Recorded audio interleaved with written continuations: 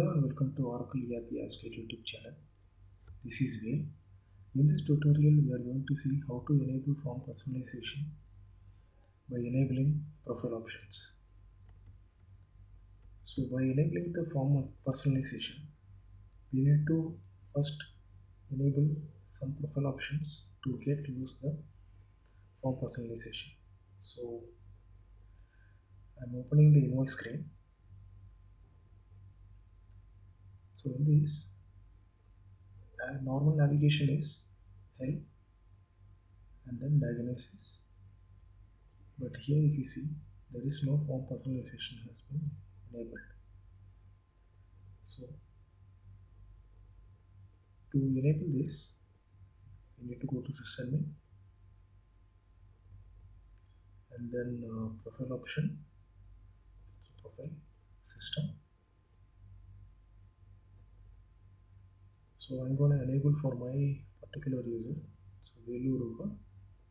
So this is the username I'm using now. And then first one is hide diagnostics menu entry.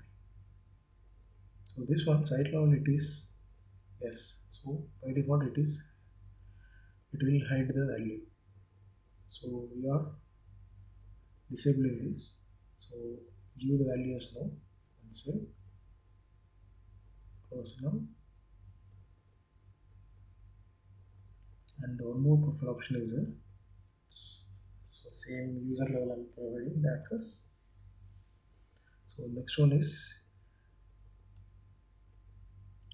utilities diagnostics. So this one site level it is no. So we need to give the value as yes at the user level to enable the diagnostics that menu save so now close the form so now you can exit the application or else you can switch the responsibility to see the uh, changes whatever we have applied in the profile options. So I'm now again opening the uh, different profile options so close this form so now go to payables so open the invoice form again. So now if you see this diagnostics menu has been enabled. So go to custom code and then personalize. This is actual navigation to access the form personalization. So this is the personalization window you click the personalize so here you will customize. So this window we will create the all the personalization related to this form. So close this. Close again. So there is one more profile option is there. So once you enable that profile option you can able to see the seeded uh, personalizations. By default, we cannot able to see what are the Oracle uh, seeded personalizations. These profile options, if we enable it, definitely enable uh, industry editing.